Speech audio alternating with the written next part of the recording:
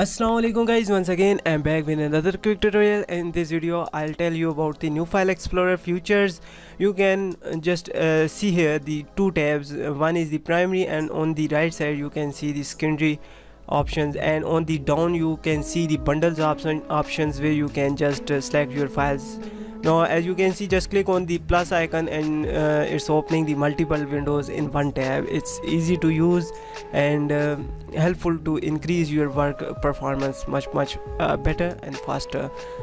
Now uh, in the primary and secondary actually it's uh, the concept of moving files from one file to another file. In windows file explorer we have faced like opening the twice time the windows file explorer. Now in this section you can see two panels the secondary and the primary on the right side secondary and the on, on left side primary. Now how you can active these? It's easy.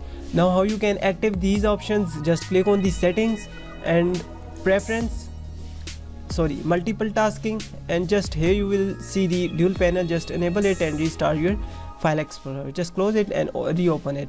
Now in the experimental base you can see here the enable file tags. It's like color tags. You can just uh, select the tags color tags for your folders. Now show folder size uh, the, it's a great feature but uh, if you are using the low end pc like Core2Duo then you make sure to turn it off for better performance. Calculating folder size is resource intensive and may cause your cpu usage to increase so if you are using low end pc then make sure to turn it off. Now in the about section there are a lot of new settings and options features are available. You can tweak them by yourself and in the multiple task uh, preference. Now here is the main option. Now mostly people have questioned that how to show hidden files in new file explorer. So simply for that just click on the settings click over here then in the preference. Now here you will get the file and folders actually this is the option of file and folder. Just click on it. Now here you will get all the options related to your files and folders. As you can see here show hidden files and folders. Just turn it on on for showing hidden files.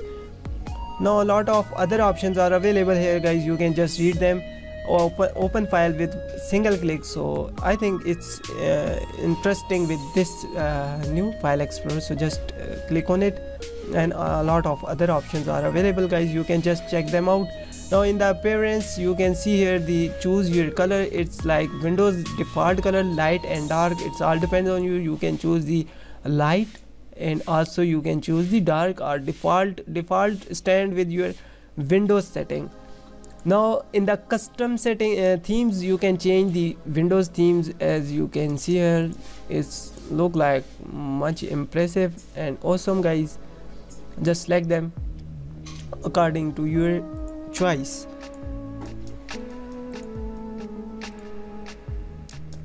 So this is the uh, new file explorer guys. I hope you like this. Try once and then uh, comment below how you feel with it. I hope you like this video. Now the question is how to uninstall it and get back on the uh, Windows default uh, file explorer, Windows file explorer. For that just watch my second video after the video after this video you will get the uh, another video on the right side just click on it and it will show you how you can get back on your default windows file explorer i think you can simply uninstall it but if it's not work for you you can watch the video how to get back on the older windows file explorer. I hope guys you like this video. Hit the subscribe button and share it with friend. And if you have any question just comment below. I'll guide you properly. I will guide you properly. Have a good day. Take care. Allah hafiz. Bye bye